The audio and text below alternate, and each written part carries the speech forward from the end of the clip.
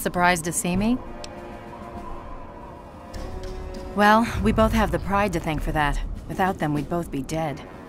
But enough about me. You've done one hell of an outstanding job out here, soldier. A hell of a job.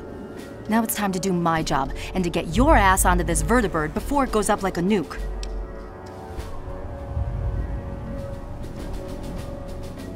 Hurry, the orbital strike will be coming down any moment now.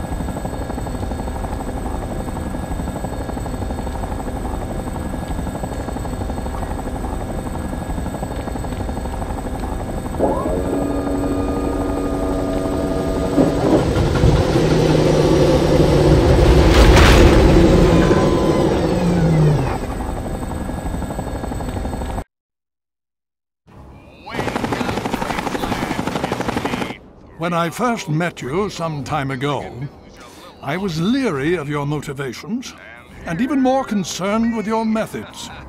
At the battle for Project Purity, you proved yourself. And any doubts that I had about you dissipated on that day. Now, with the Enclave in ruins and with you to thank for it, I'm almost at a complete loss for words. I feel proud to call you one of our own, and I promise that what you've done here today will be recorded by our scribes as an historic moment. On behalf of the Brotherhood of Steel and on behalf of the free people of this wasteland, I thank you.